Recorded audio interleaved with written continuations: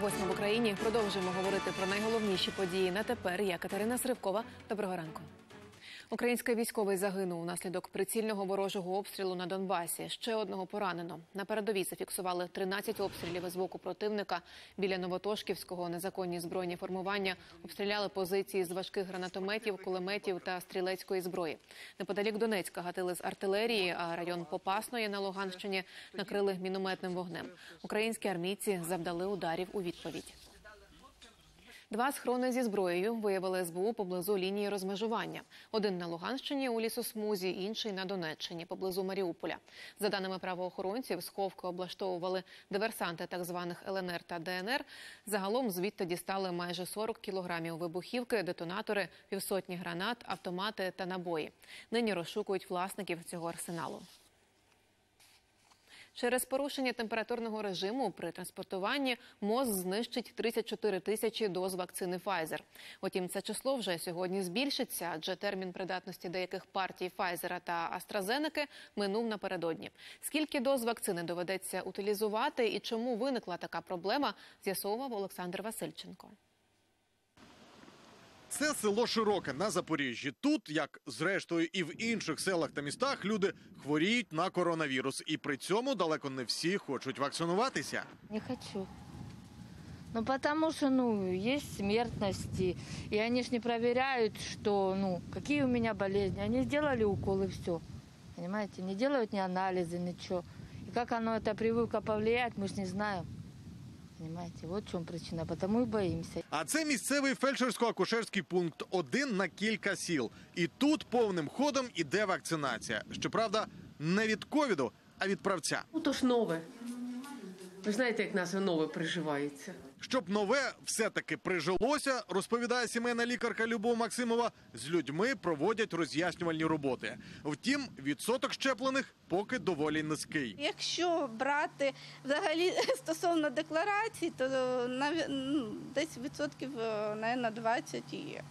Е, тому що в мене більше 20 тисяч декларантів, і з них е, є відсоток дітей, котрі не щеплюються. Тобто ви це теж повинні розуміти.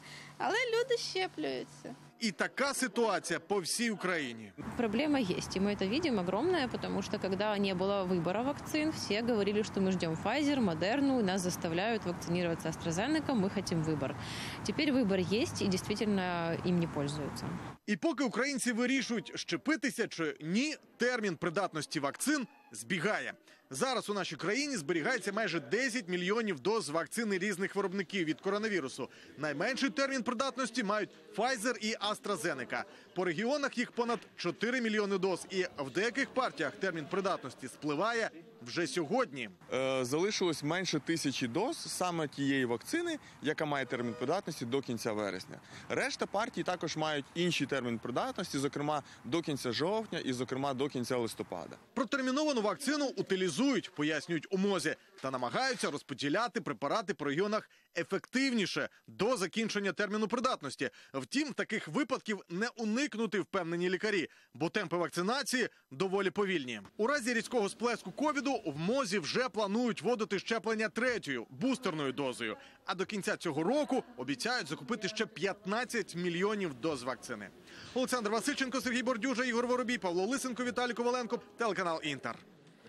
Електронні лікарняні від сьогодні стануть в Україні обов'язковими. Для оформлення такого документа пацієнтові потрібно прийти на прийом до сімейного лікаря, а той зобов'язаний поставити свого електронного підписа. Онлайн-система дозволить перевірити, скільки та кому лікар видав листів непрацездатності. Урядовці сподіваються, це допоможе боротися з видачею фальшивих лікарняних.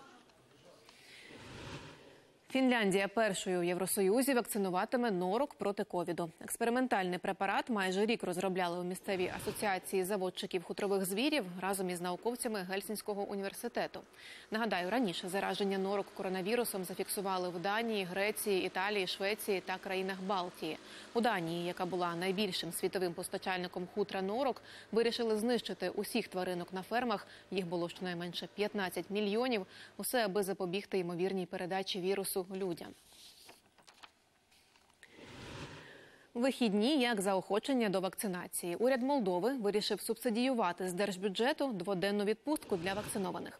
Рішення покликано спонукати роботодавців просувати вакцинацію у своїх колективах, а також усунути перешкоди для працевлаштованих громадян. Наразі повне щеплення в країні отримали понад 780 тисяч людей, тобто майже 20% населення. Біженці з Афганістану знайшли прихисток в Україні. Благодійні організації забезпечують їх усім необхідним, щоб люди могли повернутися до повноцінного життя за межами рідного краю. Як саме потрапили громадяни Афганістану в далеку і чужу для них Україну, та як їм у нас живеться, розкаже Оксана Тупальська.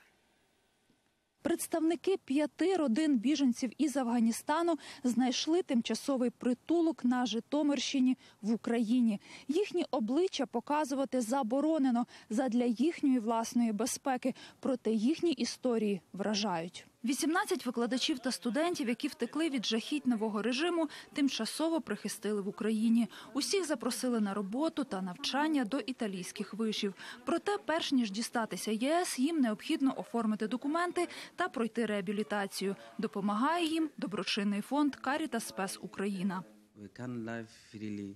Ми перебували у небезпеці, тому змушені були залишити свою рідну землю. Життя, можливості та навіть наші погляди були атаковані Талібаном. В Афганістані стало дуже складно жити. Немає ні освіти, ні розвитку, ні прогресу в економіці. І для нас, людей, що здобули освіту в школах та університетах, це стало катастрофою. Ми тимчасово потрапили з Афганістану до України, і тут нам дуже затишно та комфортно. Тож ми щасливі. Ми перебуваємо у безпеці. Однією групою біженців, які прилетіли до Борисполя, опікуються дипломати Канади, іншою українці. Афганці кажуть, що на литовищі дітей доводилося замотувати у фольгу та якомога швидше нести до автобуса, щоб ті не змерзли. Адже все, що змогли вивезти, це наплічники з документами та дипломи і трохи одягу. Ми привезли приблизно е, близько 65 кілограмів одягу. Там різні, там здебільшого це зимові речі, тому що ми бачимо, що по- погодні умови зараз такі, що вже така осінь, і для людей, які були евакуйовані з Афганістану, фактично в футболках без жодних теплих речей, Біженцям зробили ПЛР-тести, одному з дітлахів надали медичну допомогу. Зараз для афганців влаштували заняття із італійської мови. Я дуже відчуваю, що ми одна сім'я, що немає ту християнина, немає мусульмана, але ми всі разом намагаємося допомогти один одному. Папа Франциск постійно говорить е, про те, щоб ми не боялися приймати людей, які опинилися в біді. Загалом і наша країна є в біді, тому що ми знаємо, що таке війна, досвідчуємо її. Після того, як афганських науковців та студентів відправлять до Італії, українські благодійники допомагатимуть новим групам біженців. Тому вивчають перший досвід та радяться із іноземними колегами, аби бути готовими до нової місії. Оксана Тупальська, Олексій Шматов, Василь Меновчиков. Новини телеканал Інтер. Столицю Словенії Любляну затопило. Внаслідок зливи у воді опинилися понад пів тисячі будівель, залило й автошляхи. Через це у місті ускладений рух транспорту. Місцеві жителі кидали свої затоплені автівки просто на дорозі. Тамтешні метеорологи вже назвали зливу аномальною та зазначили, таке в Словенії трапляється раз на два сторіччя. Парламент Барбадосу дав зелене світло для виходу з під влади британської корони. Депутати ухвалили поправку до конституції, щоб країна могла стати республікою. Нова поправка скасовує Барбадоський указ 1966 року її величності королеви Великої Британії. Це покладе край статус України як британській колонії, якою вона була відколи англійські поселенці уперше висадилися у 17 столітті. При цьому своєї назви Барбадос не змінюватиме. В австралійській столиці Канбері ворони атакували дрони, які здійснюють доставку. За словами орнітологів, так ці птахи намагаються захищати свою територію. Дрон вони сп- сприймають як ворожий об'єкт у повітрі. Попри це, після атаки апарат таки здійснив доставку та повернувся на базу. Однак, унаслідок інциденту компанія тимчасово призупинила доправляти товари у деякі райони Канбери, де проживає чимало ворон. Раніше в австралійській столиці дрони також атакували яструби. Поки що це все. Повертайтеся о 9 Ми підготуємо оновлену інформацію.